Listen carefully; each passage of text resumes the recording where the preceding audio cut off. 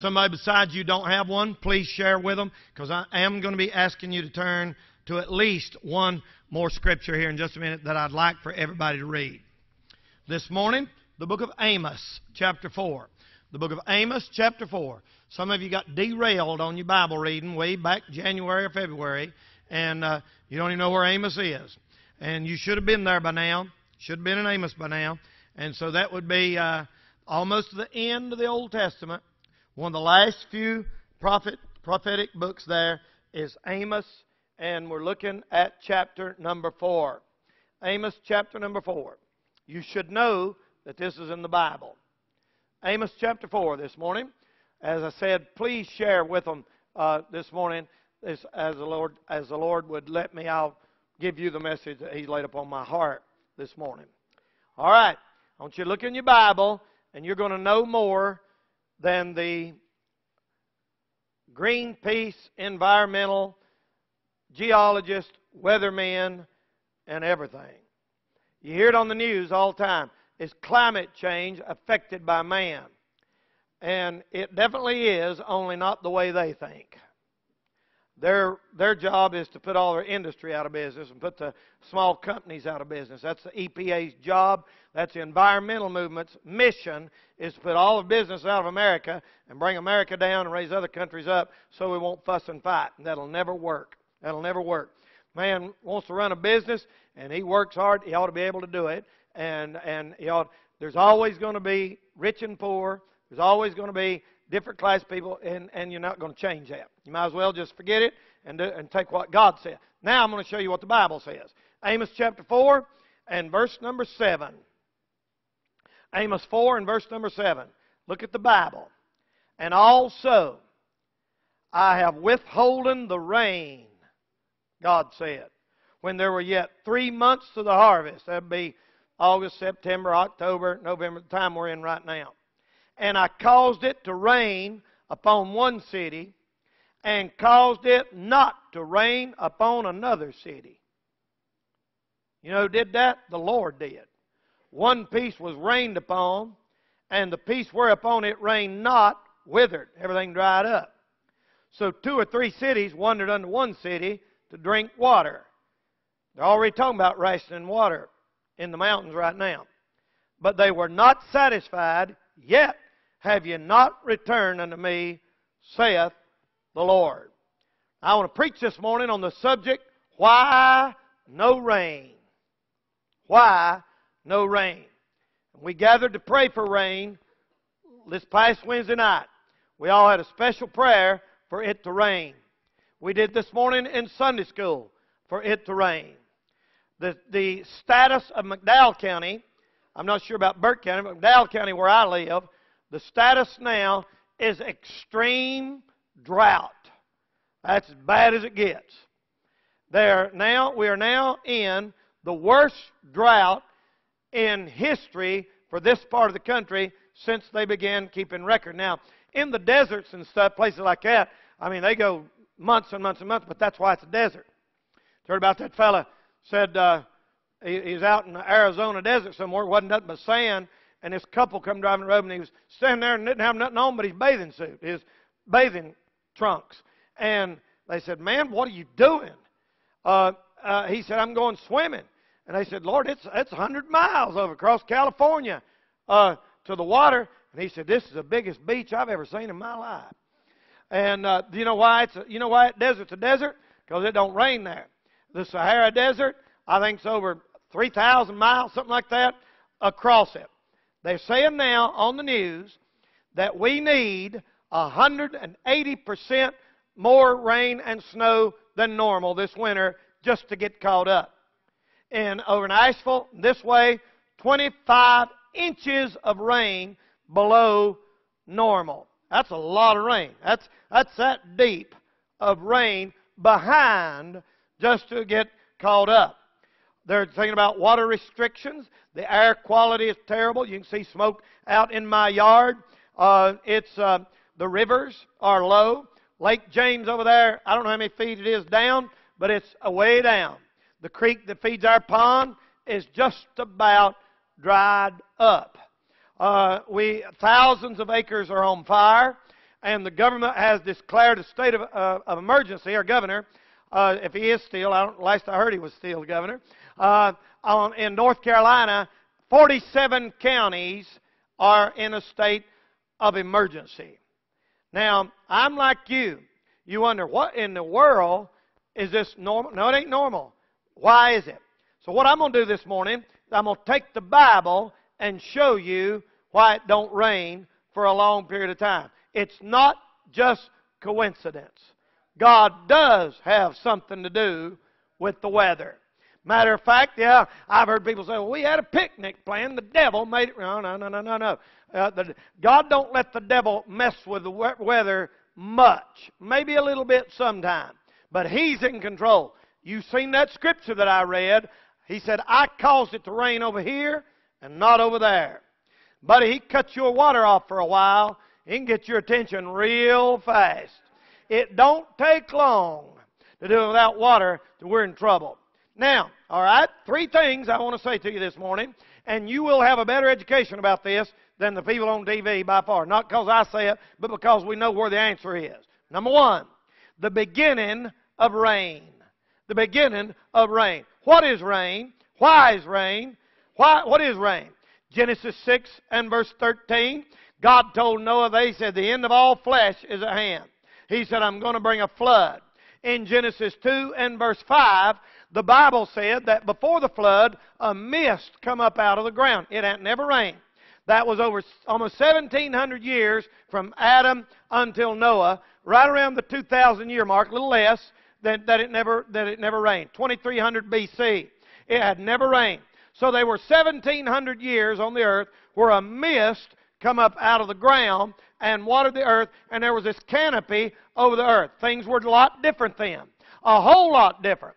Because of that canopy around the, the earth, the sun's rays were filtered. Therefore, it was more healthy. There was more oxygen. The weather was better. And people lived to be seven, eight, and nine hundred years during that time. Uh, and, and there was no rain before there was ever rain. And so, before the flood, there were no drops of water that fell out of the sky and fell on people. Now, this explains a lot of things.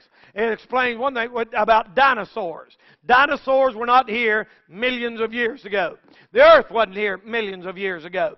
Uh, dinosaurs were in that period of those 2,000 years between Adam and Noah.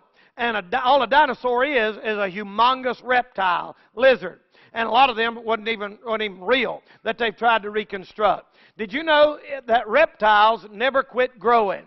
Alligators, stuff like that, they just keep getting bigger and bigger and bigger. So before the flood, if a man lived to be six and seven hundred, then a, and you could have some mighty big lizards on, on this earth. And it won't take time to go into all of that. And then God told Noah, He said, Noah, build me an ark.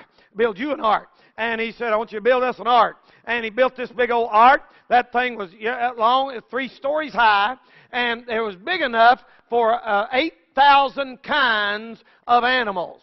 One scientist said there's no way that Noah could have got two of every species in the world in that ark. And when they say that, they're showing their ignorance. God didn't say two of every species, He said two of every kind. And it was easy to get two of every kind. And they're like elephants. You didn't have to take a full grown one. You could have took little ones, little elephants. And they grow up and they're healthier and they don't eat as much. God had it all. They were vegetarians. Most animals were vegetarians also before the flood. The earth may have not been tilted on its axis, so you didn't have frozen north and south pole like we do. I'm not sure about that. That's maybe. But I know one thing the atmosphere and the weather was way different before it ever rained the first time. And God said in Genesis 7 and verse 4, I will cause it to rain. 40 days and 40 nights. He said, Noah, everything's going to drown. I won't take time to go into all that, but the ark is a reality. There is tons of evidence that the ark of Noah landed on the mountains of Ararat, where the Bible said, over there east of Turkey or somewhere over there, of Ararat, and there is lots of evidence that it is still there. Uh, uh, that's been spotted. They've been spotted way up there on top of that town, and at the bottom of that mountain, they say that's the oldest town in the world, and they say the place where the ark landed, the place where the boat stayed.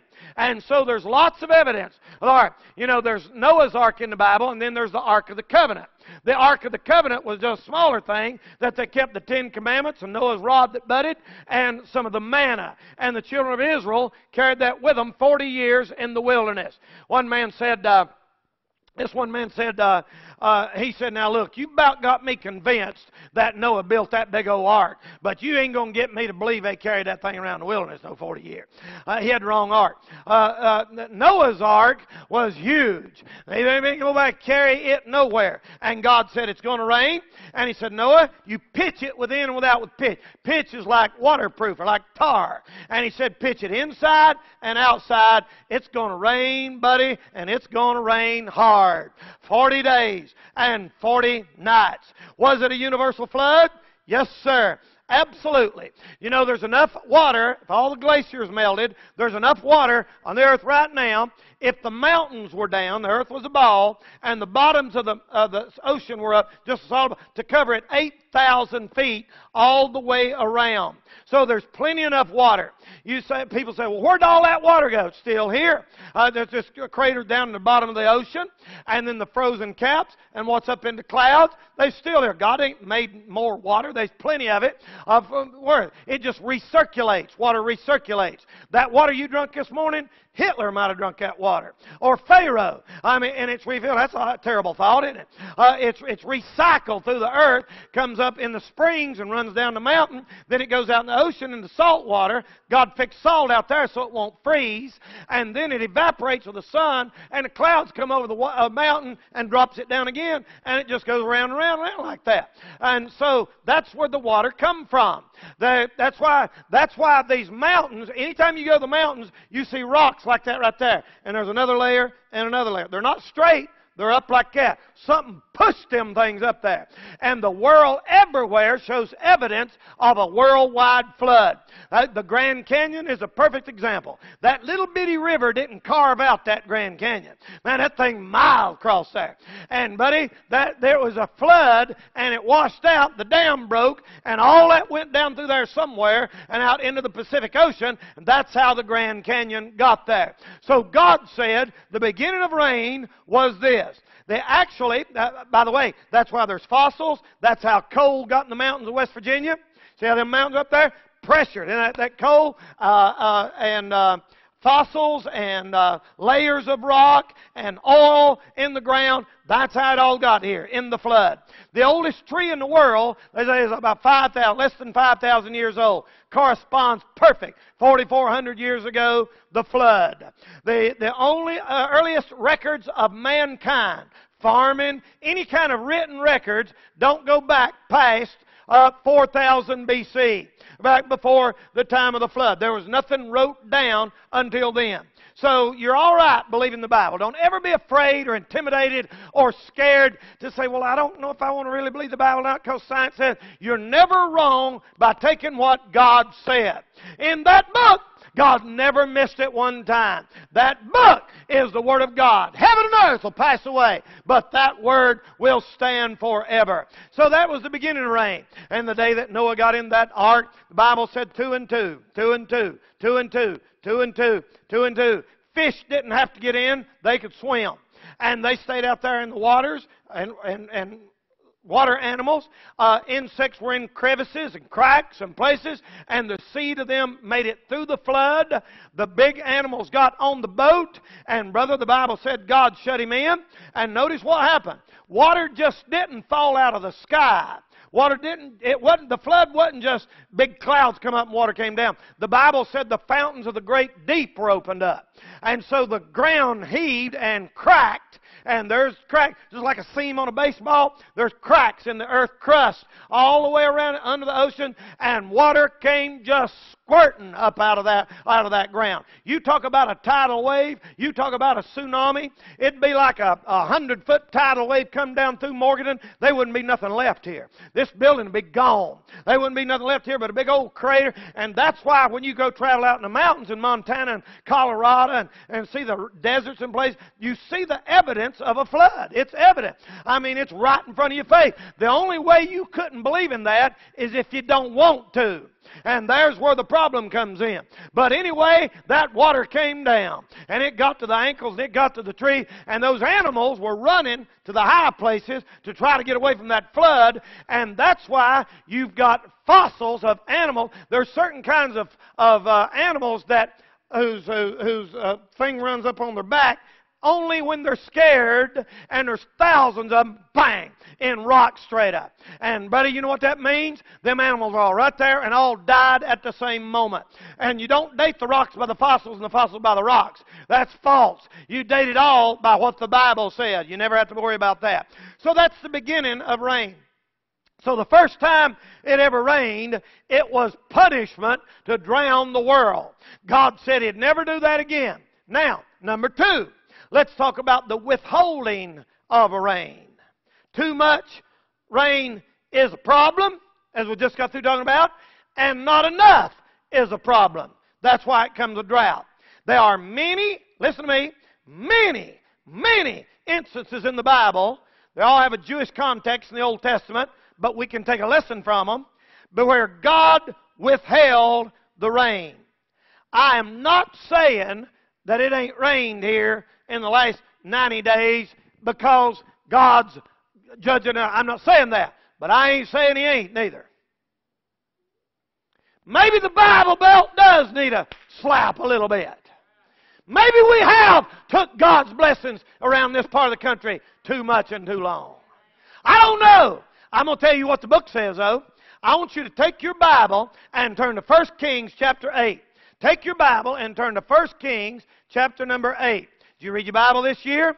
Well, maybe you need to, buddy. Maybe you need to. You got the answer to every problem you'll ever have right there in that book in your lap, and the devil's the one that makes you ignore it. Look at 1 Kings chapter 8 and let's look at verse number 35. I, I don't know what others may say or believe, but I'm telling you, I'm going to stick with what that book says right there that's never been proved wrong one time. 1 Kings chapter 8 and verse 35. Everybody looking at it? It says this When heaven is shut up, that there is no rain. Why? Because they have sinned against thee. You, don't, you ain't going to get it no plainer than that. If they pray toward this place and confess thy name and turn from their sin when thou afflictest them, then hear from heaven, forgive their sin, all of that, and then he's going to let it rain. Verse 36 said he let it rain. So in the Bible, there is no doubt about it. God dealt with Israel. If they turned from him and they worshiped other gods and they got full of the devil, God said, I'll hold rain back. And if you repent and get right, I'll let it rain. That's what he did. You can't argue with that. People say, well, God don't. He sure does. He does. He did. He held it back because people were living in sin. It says the same thing in 2 Chronicles 6.26. You don't have to turn to it. It said in 1 Samuel 12.18, God sent thunder and rain as a punishment. And in 1 uh, Kings 17.1, the Bible said Elijah prayed and God didn't let it rain for three and a half years and the brook dried up. The brook dried up, the streams and the river dried up. You know why? People worshiping idols and false gods. I know, I know. They say, oh, you preachers, I know how y'all are. Everything that happens, you connect it with God. You're absolutely right. He's a sovereign God. He's running the universe. He says what happens and what don't happen. I wouldn't get too big for my britches if I was you. You're just a little bitty speck down here on this earth. He's the one that's running things, buddy. He's the one that's calling the shot. You know when it snows? When God says snow. You know what El Nino has to do with it? Nothing. He's in control of that. He's in control of how cold it gets, how hot it gets. He's in control of the, the rain, the, the thunder, the lightning, every bit of it. Well, I believe man can, man, little bitty peewee. I don't think so. I think, brother, God's in control, like the book said. God said, I caused it to rain here and not there. Now, the eastern part of our state was flooded not long ago. Still is a lot of. They're soaking wet. We're parched dry. Uh, you say, well, you're trying to hook up God and everything. Yeah, and you're trying to unhook Him from everything. And I'm right. I'm right. God does have something to do with that. Oh, you people, you just try to read the Bible in there. You're you're guilty, guilty, and thank God for it. I do read the Bible and everything, and you're uneducated spiritually if you don't. I'm telling you, brother, you know who, you know when it's going to rain? When God says so. Amen. And they say we might get some hope, so thank God I hope it does. But not until He says rain, it ain't going to rain. All right? Now, the Bible said in Matthew 5, it rains on the just and the unjust. People say, well, see, that couldn't be the judgment of God. What about old grandma? She's living right and she's having to suffer. What about so and so? He's full of the devil and it rains over here. It rains on the just and the unjust. That's what Jesus said. He's God's good to everybody. God's good to people that hate him. It rains on the just and on the unjust. But once in a while, he holds it back. Number three, you do realize that during the tribulation, there'll be a repeat of Elijah's prophecy. The last three and a half years of tribulation will be a drought. Elijah, one of the two witnesses in Revelation 11, smite the earth that it might not rain in the days of their prophecy prophecy, 42 months. That's three and a half years. So the last three and a half years will be a repeat of Elijah's drought back in the Old Testament, and there's full of, there's all kinds of scriptures that talks about a flood being at the end of the tribulation, right before the millennial reign. A great flood, then God's going to burn the world up, like I preached last Sunday.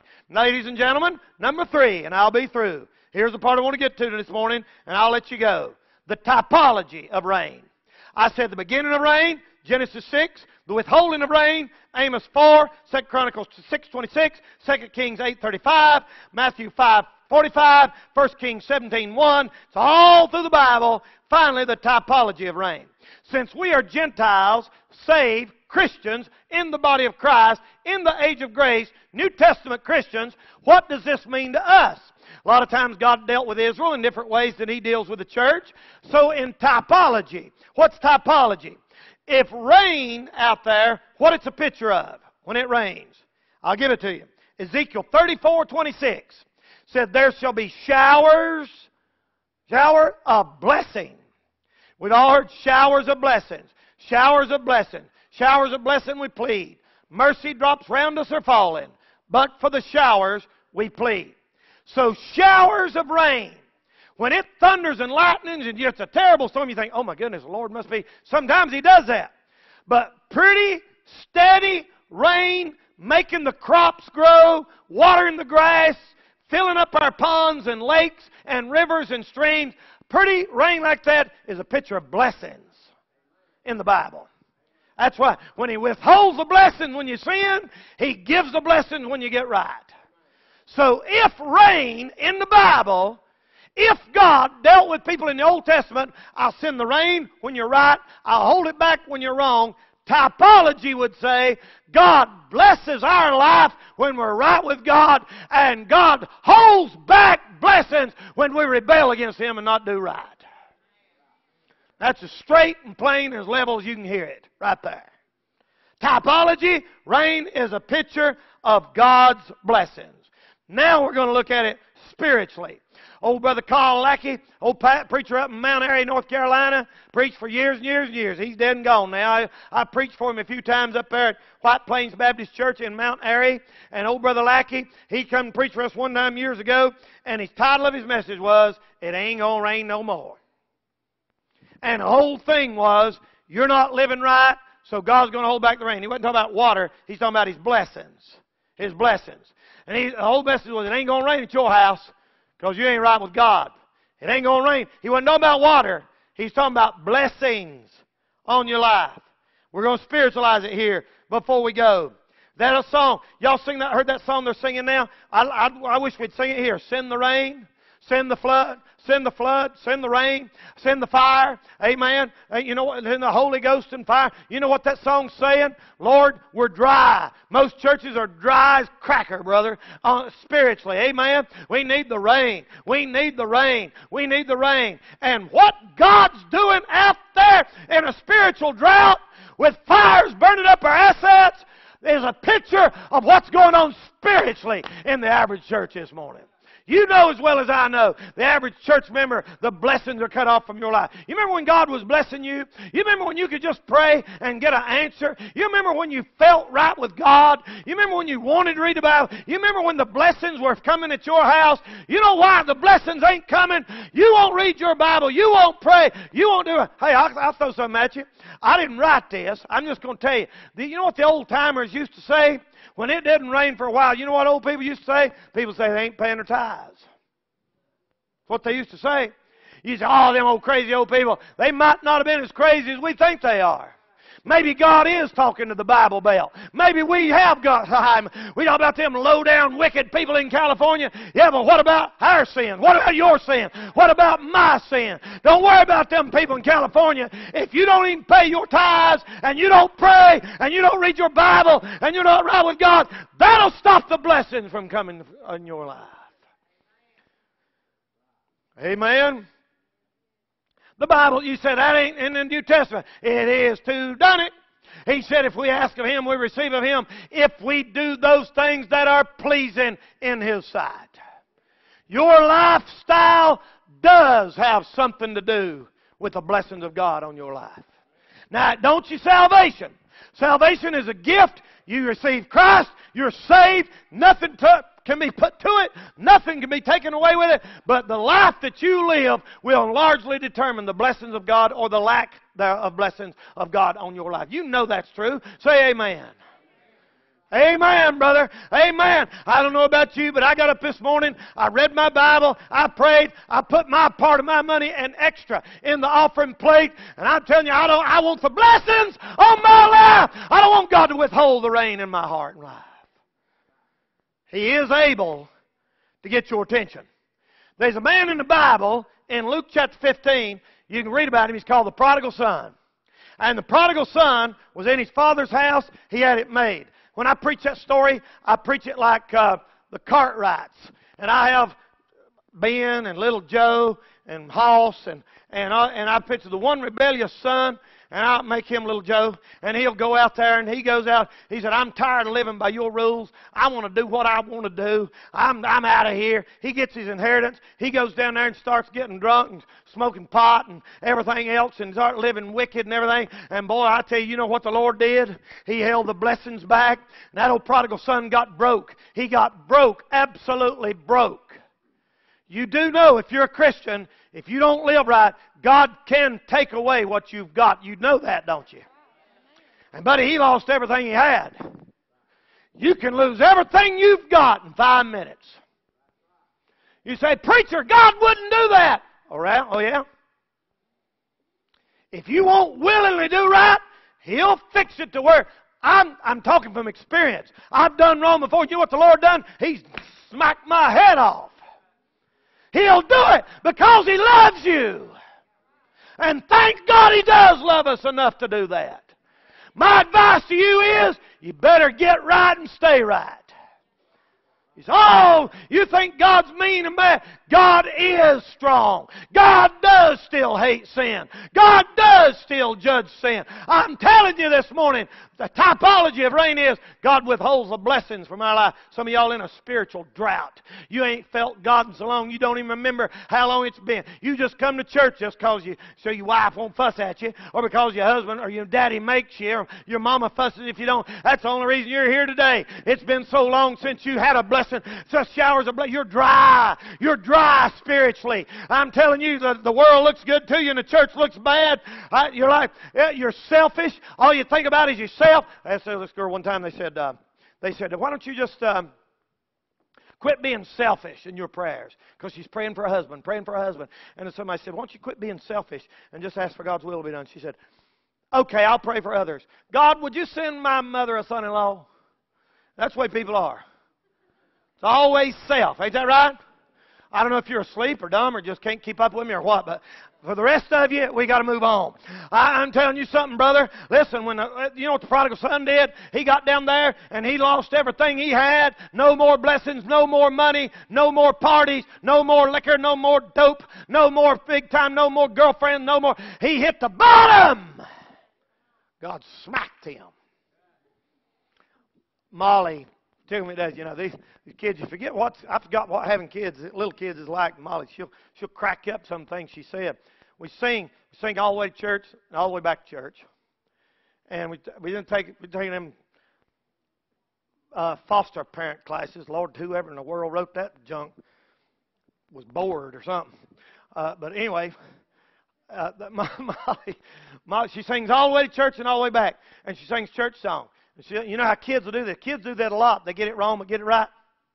She's saying, Oh, victory in Jesus, my Savior forever. He sought me and He bought me with His redeeming blood. He loved me ere I knew Him. Got all that right. And all my love is due Him. He punched me to victory.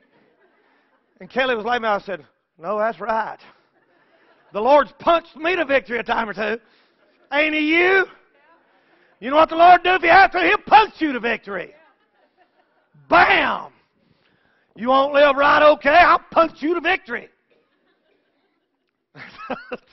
amen. He punched me to victory. Uh, amen. All my love is due him. Thank God that he does. Hey, hadn't you had to punch your kids to victory a couple, once in a while? I don't mean in the face. Don't don't let that be on the internet, please. I didn't mean that. A good a good biblical spanking in the right place. That's what I meant. But I'm telling you, he's punched me to victory. Oh, you ain't going to get right, Danny? Well, yeah, I will, Lord. Not today. Uh, you going to get right, Danny? Oh, well, I'm not. He punched me to victory. You're down and goes, Oh, Lord, I'm sorry. Oh, Lord, I'm sorry. Then the rain comes. Then the rain comes. Listen, I had rather have those showers of blessings on my life, spiritual rain, and my family be happy and right with God than everything this world's got to offer. The typology of rain. Is he going to have to punch you to victory? You better think about it. You better think about it. It's taught throughout the Bible. Listen, I hope it rains tomorrow. I'm praying. I'm praying. But you know when it's going to rain? When God says so. That's right. Well, they're saying, yeah, I know, I hope they're right. And I'm not saying he withheld it because anything. I'm not. But I ain't saying he didn't either. In typology, it's a picture of him holding back his blessings off your life. I knew a man one time, a good man, loved the Lord, and he got he just got backslid. That's all there is to it. He got backslid. He's a deacon in a church. And he just got cold, got to where he didn't come to church regular, quit reading his Bible. And about a year later, he got back in there and really got on fire. And I asked him, I said, man, how, how'd you do that? Because a lot of people just come to the altar, go right back, come to the altar, and go right back. He said, you know what I had to do, Brother Danny? He said, I had to make myself read my Bible and pray till the blessings come back on my life. When you get like that, when you realize you're in a drought, and it's been a long time since it's rained in your life, you know, send the rain. I mean, it's been so long since you got a blessing. Maybe you just need to make yourself. I, that's why I push you to read the Bible. If you don't, if you don't make yourself do it, you won't do it. Carrie texts me every now and then. Where you at? Where you at? She's trying to keep up with me. I'm, I'm going to be finishing right on time if it's God's will. Many of you have already finished. You have to, you have to make yourself. Sometimes you have to make yourself quit doing stuff you shouldn't do. If you know it's wrong, if you got a brain in your head, you'll make yourself quit. Or if you don't, He'll make it for you. If you're His child and you don't quit doing something wrong, He'll quit you. He'll quit you. For, he'll quit it for you. It's a whole lot easier to just quit it yourself. That's why there's no rain. How long has it been since it rained in your life? I'm not talking about water. That's just a picture of what so many people are going through spiritually. Let's stand. Bow our heads for prayer.